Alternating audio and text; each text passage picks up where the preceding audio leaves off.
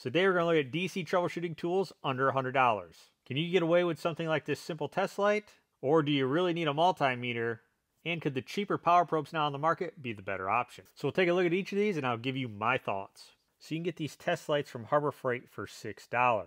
With the more common one here for 6 to 12 volt, then we have the 18 to 36, and we have a continuity checker. Now the continuity checker, you do have to provide a battery here for it to work. So we'll consider this power supply as a battery or circuit, and it's providing 12.4 volts. So we have the positive, and then we'll take our test light here and put it on the negative. And of course you see it lights up. But the problem here is we don't know what the voltage is. So we'll dial this down, and there we have 10 volts. And yes, the brightness of the light did go down. But can you truly say, yeah, this is 10 volts? And that's 12.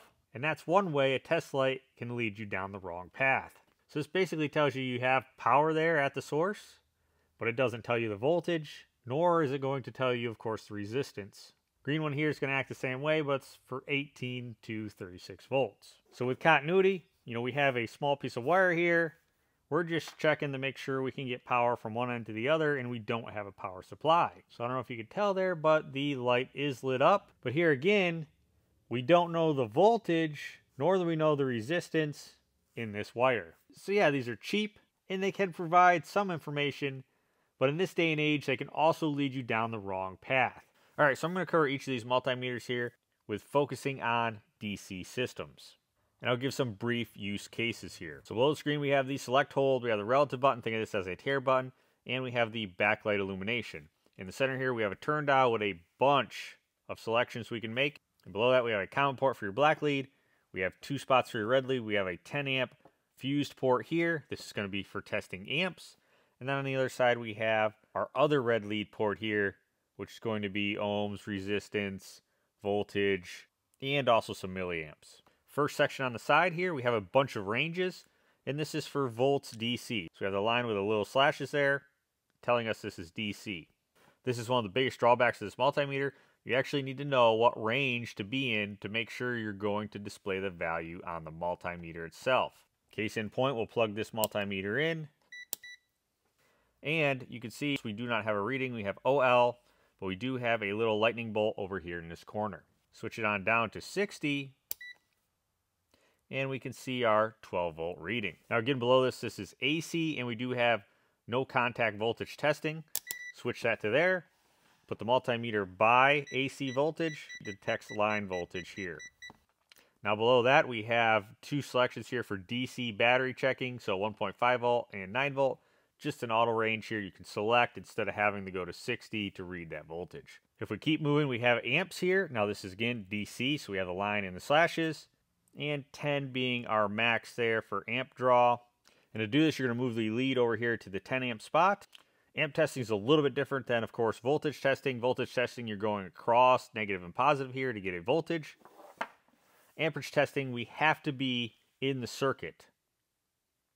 And we have to have a power source. So I'm going to use this continuity tester here. So we'll hook the red lead up. And we'll hook the black lead up. And to light this light bulb in here, it's pulling roughly 0.35 amps. Moving over here, we have farads. This is for capacity testing. We're going to skip this. Up next, though, we do have the beep test and diode checker. So the beep test here, pretty straightforward. Once you have continuity through your leads to the meter, of course it beeps and gives you a resistance here. If we hit the select button, so then we have diode checker. Now a diode is think of it as a check valve. It's a one-way street basically. The most common diode that you'll find today is a LED or light emitting diode. And right above that, we do have ohms with multiple ranges again. Pretty straightforward. We are measuring that continuity through our leads. Simple use cases, diagnosing a CAN bus. Here we have a 120 ohm resistor. And if we plug that in here, we're reading 121 ohms. Now if we hit this relative button, hmm, that should actually tare, uh, basically like you're putting a package on a scale and it brings it to zero, but here it's not doing anything. So we'll let this Kobalt quick. We'll go to ohms. You can see we have 122 ohms there, and if we hit this relative button, we zero out. So apparently either this one's defective or we have a unit here that claims it can do something and it clearly doesn't. So yeah, not a bad little multimeter here for 20 bucks. Comes with the leads, comes with the batteries. But the biggest drawback here is you need to make sure you're in the proper range for what you're testing. Or you need to start high and work your way all the way down to see if you have a reading. So not the best, but you know, it's usable. Kobalt pocket multimeter. Quite interesting here. You can see the size versus a standard multimeter. Below screen we have mode, relative, hold, and then a Hertz button. On the back, this uses a 2032 coin battery, which it does come with. Only two ports on the bottom, so this is only rated to go up to 200 milliamps. Cycle to the left, milliamps, milliamps DC, milliamps AC. Then we have our resistance, diode mode, continuity check.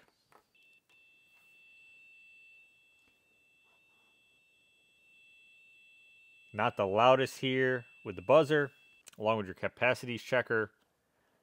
Go back across. Starts off in AC, so DC voltage, and then we have Hertz, and we'll get more into Hertz here later on. Comes with a little bit on the cheaper side leads here, but overall this Kobalt is a nice little compact unit. No, you really can't do amp draw with it, but for continuity, ohms, and even Hertz here, this might be something to consider, especially with the auto ranging. Next, we have the Ames from Harbor Freight for roughly $42 here. When we look at the Ames here, Ames comes in at roughly $42, also sold by Harbor Freight. A little bit smaller, a lot less going on here with the dial versus the Cen-Tech. So we do have some auto ranging. Top, we have a function, hold, range button, and no contact voltage. Switch the voltage, going to display DC, hit function, we get AC. We do now have a temp sensor, so internally it will give us a temp, and then we can also install a temp sensor here to get a temp reading with a temperature probe. Above that, we have ohms, auto ranging, diode checker, and that continuity test where it'll beep when we have continuity in the leads. Microamps, DC, AC, milliamps, amps. Here they have it highlighted. You need to use the 10 amp port. And then we have those preset ranges here for testing batteries. So 1.5, 9 volts, and 12 volts. Again, so pretty straightforward on the top here. Have that function, we have hold. So holding the value, we can unplug, still display the value. Click hold again. Hit the range button. We can determine what range we want to actually be in instead of auto. And then we have that no contact voltage testing. Resistance wise, you can see we read OL and we're reading 0.0. Ideally, I'd like to see us read 0.2 there because we do have some resistance in this wiring. If we hook up the CAN bus terminator, we're reading 122 ohms. And something like a coil on a relay.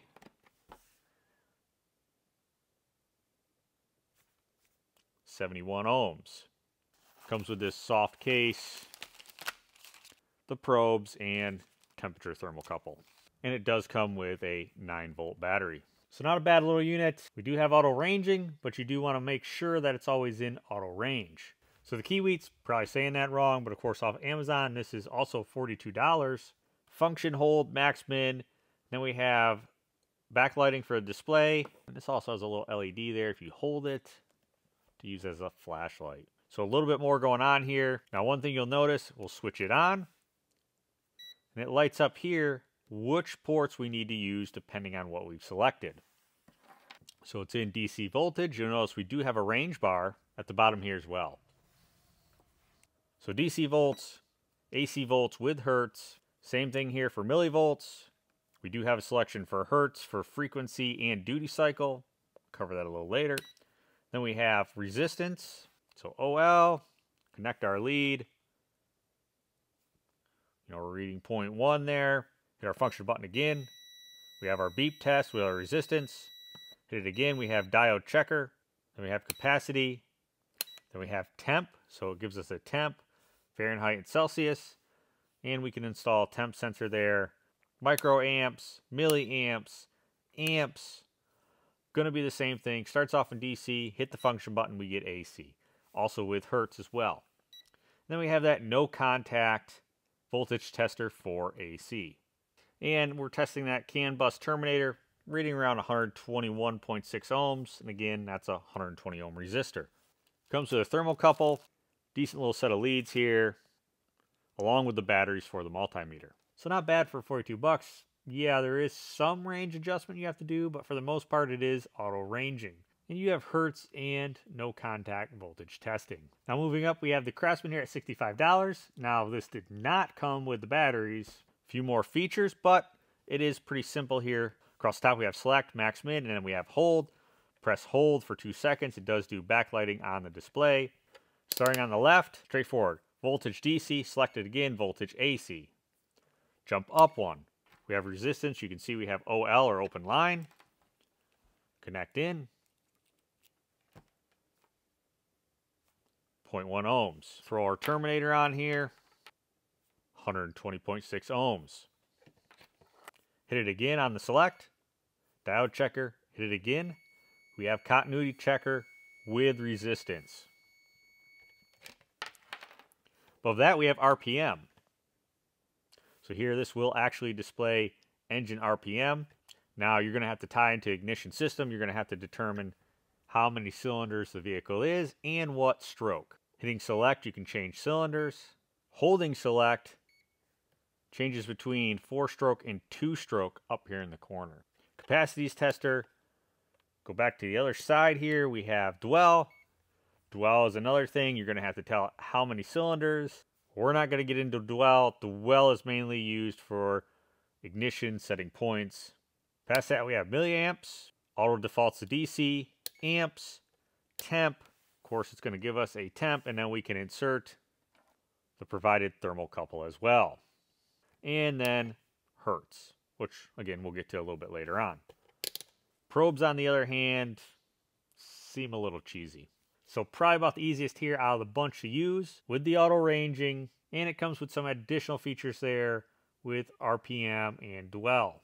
All right, so power probe wise, here we're moving up to around 86 bucks MSRP for this ANCEL. So you've got this nice little case, has this little foam insert on top, battery connection lead, cigarette lighter plug, additional extension, and a second probe lead if you lose the one on the tool.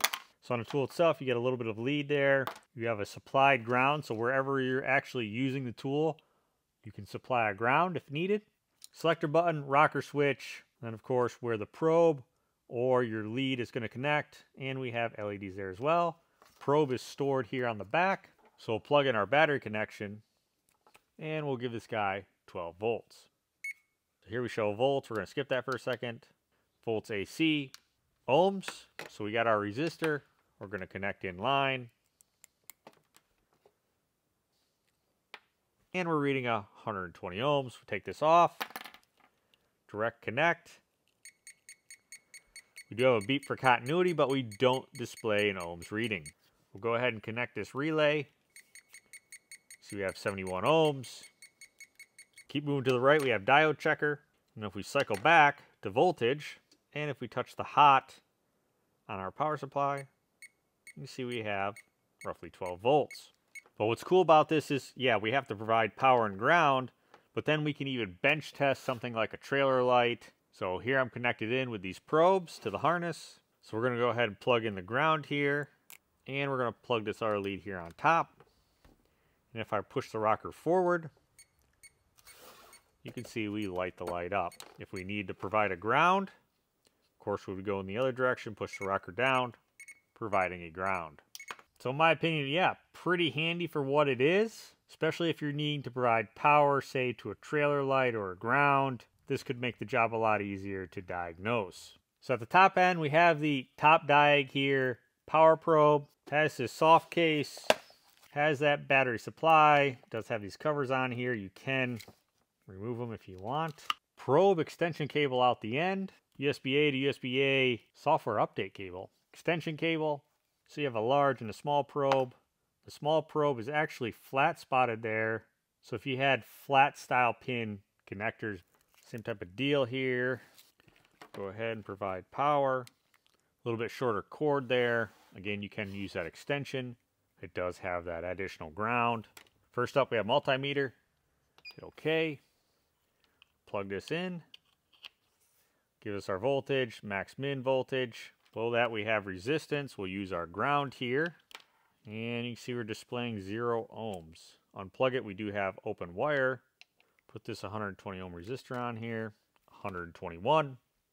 So we'll click down one more. We have diode checker along with our continuity beep test.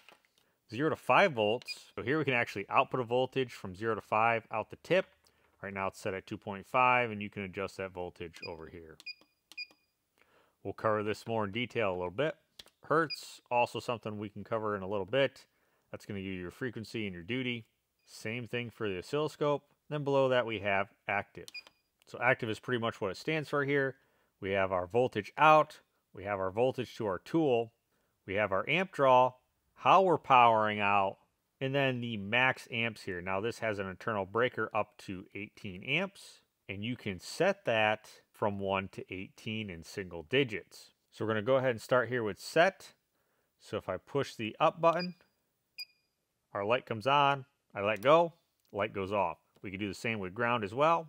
So we move forward here, we have moment. So if I hit that button once, it automatically keeps the power on. So we'll shut that off. Go over again. We have pulse. Click the button up.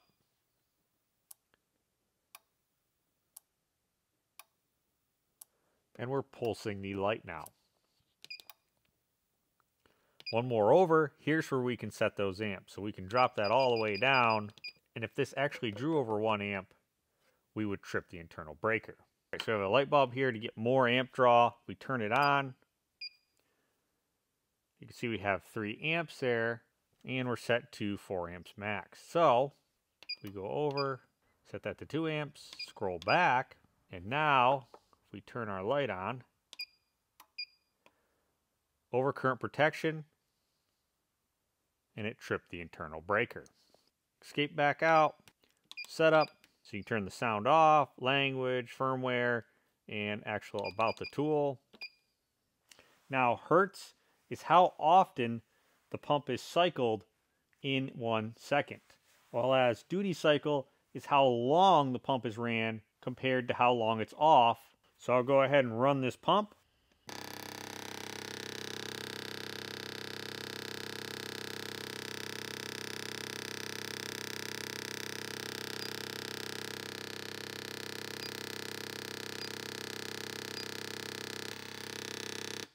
Now you'll notice that the frequency and the duty cycle on this is kind of all over the place. I do like the oscilloscope there. You can see what's going on. But these numbers are bouncing around quite a bit. So out of all these ones here, the best one I found for Hertz is going to be this Kiwitz. So we'll go ahead and run that pump.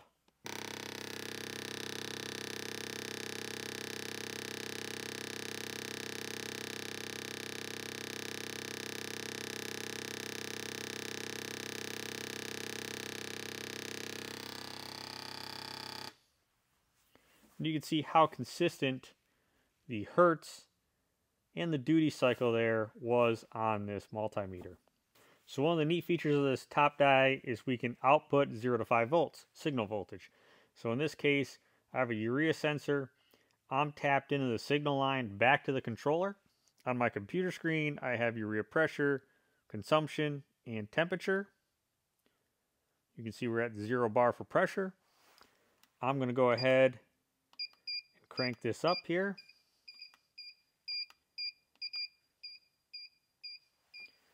And you can see our pressure start to climb. So pretty cool. You could go ahead and send voltage from this. And it also gives me here the actual voltage on that signal line right now. Which 0.4, that's enough to tell the controller, hey, this sensor is connected. All right, so we've seen some interesting results. So what's my takeaway? If I come out to help you diagnose a machine, and you pull these out, we're going to have to have a little discussion. The Ames still alright, but I think you have better features for this price point with the others. Craftsman, yeah, a lot of features, but it's on the expensive side. Again, don't care for those cheesy leads. Cen-Tech, but yeah, decent for 20 bucks. Kobalt Pocket Multimeter. You're not always looking for amperage. This would be something good for just checking voltage, resistance. So definitely packs quite a bit for this compact size and 32 bucks. Overall though, I'm to give it to the Kiwiz here. Yeah, same price as the Ames, packs some more features, bigger screen than the rest, range bar at the bottom, tells you exactly where you need to be depending on what you're trying to do. So the Power Probe. The ANCEL come in here on the cheaper side of things, but if you're looking again, something for power, for ground, yeah, something to consider. Could come in handy, especially doing trailer lights. TopDiag, so 100 bucks there, I don't think you can go wrong. Oscilloscope does work, and you can provide voltage and ground, and you can adjust the amount of amps before it actually trips the breaker internally, which is pretty cool there as well and it's up to 18 amps, higher than the meters, but it's hard to beat the features you get out of this, and I really like that you can send 0 to 5 volts there out of it. Now, some of you might be wondering what I've used for the past 15 years, and that's been this Fluke, well, it's a Mac, but it's a Fluke multimeter. So in reality, it pretty much does everything that's needed because we're covering DC volts, and we're covering ohms, and we're covering amps there up to 10. So I tried to keep this straight to the point. Of course, basically just covering a little bit of volts, DC, ohms, hertz. But if you're looking to really go in depth, I would recommend this John Deere book, which goes in great detail.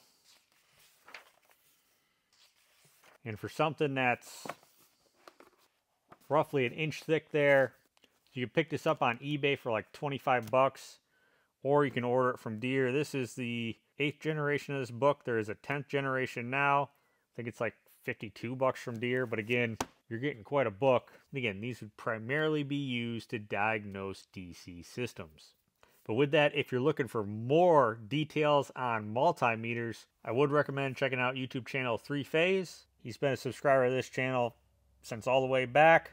Does some really good content on multimeters and electrical test equipment. So if you're looking for something on the upper end, that would be the channel to check out. Specs will be at the end here like normal. Product links will be below like normal. Let us know if you have any of these and how they've worked for you. Thanks for watching, and I'll catch you on the next one.